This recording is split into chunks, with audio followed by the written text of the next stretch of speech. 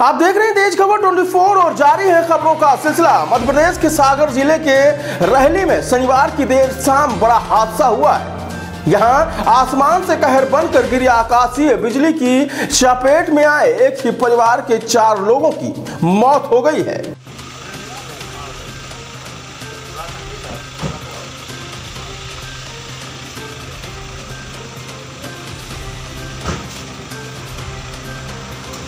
घटना के वक्त सभी खेत पर थे। उसी दौरान एक झोपड़ी पर बिजली गिर गई।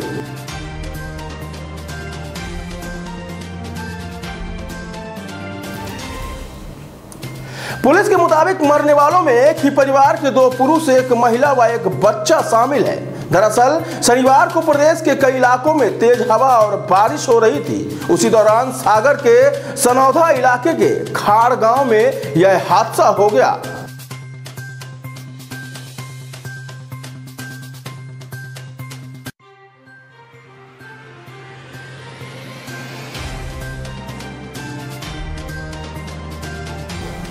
बताया गया कि इस हादसे में खाड़ गाँव में रहने वाले सेन परिवार के खेत में आकाशीय बिजली गिरने से एक ही परिवार के चार लोगों की मौत हो गई है।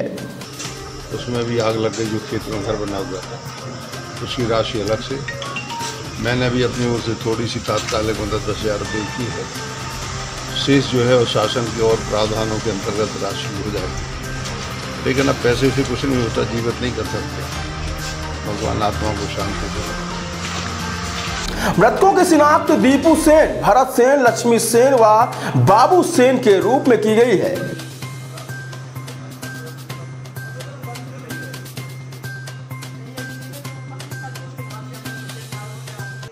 इधर हादसे की खबर लगते ही रहली विधानसभा के विधायक गोपाल भार्गव, भोपाल से सीधा सागर पहुँचे, जहाँ उन्होंने पीड़ित परिवार के परिजनों से मिलकर संवेदनाएँ व्यक्त की हैं।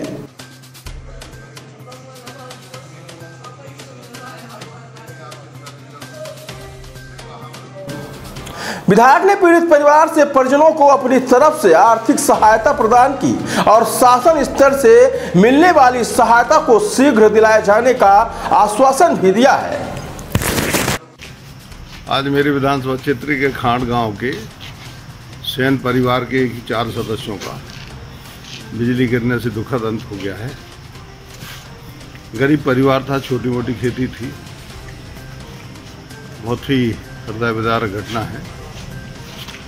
दो जवान लोग, उनकी पत्नी और बेटा, चारों लोगों की मृत्यु उसमें हो गई है।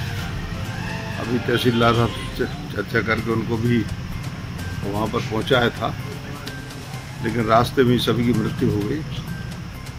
बहुत तेज बिजली की गिरने की घटना हुई है।